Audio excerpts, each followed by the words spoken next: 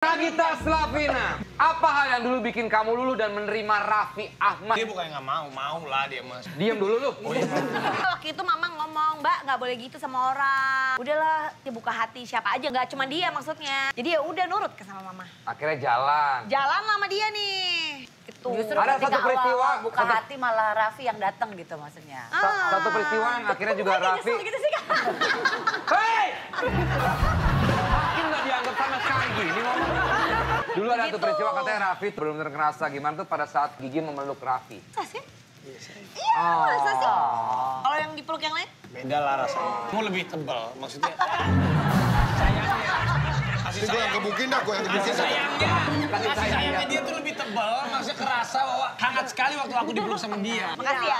Iya, sayang. Senang lihat mereka ini saling melengkapi. Gigi ya, Gigi melengkapi banget lah ya menurut saya.